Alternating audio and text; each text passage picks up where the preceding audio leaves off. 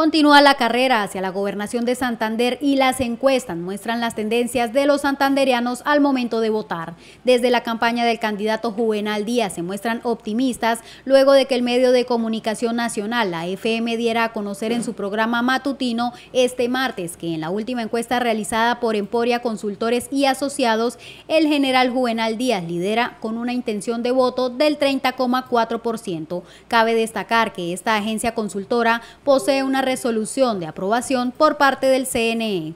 Juvenal Díaz, 30,4%.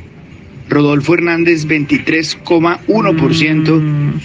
Héctor Mantilla 20.8%. Es así como continúa la labor del general y su militancia por los municipios y poblaciones del departamento de Santander en su camino a la gobernación.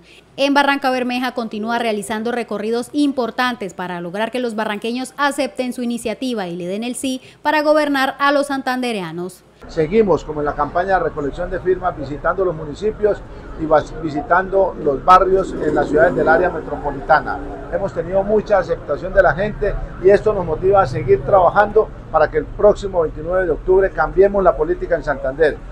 En la encuesta, la intención de voto para los otros candidatos se encuentra de la siguiente manera. Rodolfo Hernández con un 23,1%, Héctor Mantilla con un 20,8%, Ferley Sierra con un 11,4%, Luis Rangel con un 2,1%, Luis Silva con un 1,8%, Juan Torres 0,9%, Mauricio Quiñones 0,7%, José Domingo con un 0,5%, voto en blanco 4,8% y no saben no responden 3,5%.